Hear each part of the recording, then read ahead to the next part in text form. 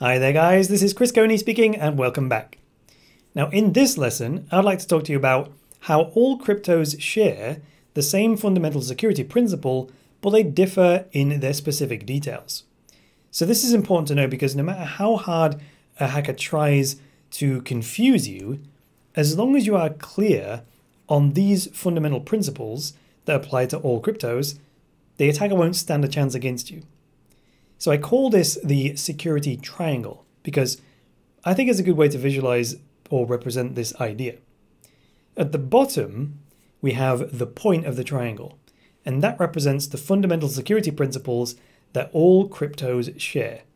Think of it like the root of a tree that everything stems from. Then, as the triangle gets wider, that represents the increasing differences between the various cryptocurrencies which all share the same root. This fundamental security principle that I'm talking about, that all cryptos share, is that your private key controls your crypto. It doesn't matter which cryptocurrency or which crypto asset we are talking about, if anyone tells you that they need to know your private key, that should immediately ring alarm bells and you should stop immediately and seek help because the chances are someone's trying to scam you. You know what they say? Better safe than sorry.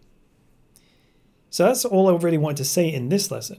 I wanted to make a dedicated lesson on this particular topic to guarantee that you heard it.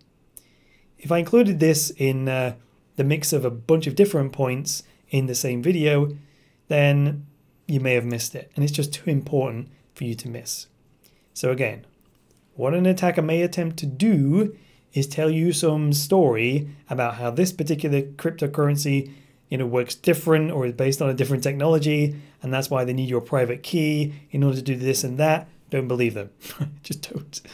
This is uh, also where they're likely to appeal to your greed like i said before by saying that they need your private key in order to make you loads of money right? Part of you will want to believe that but please don't right? It's just it's just not worth the risk. If you do get people saying things like that to you just stop immediately and get help from someone that you trust and also who knows what they are doing, of course. And no matter how many new cryptos come along, they will all share this fundamental security principle. There would have to be a pretty huge change in the technology for this to change. And if there is, I will be talking about it. So stick with me. But that's all for this lesson. Until the next one, it's me, Chris Coney saying, Bye for now.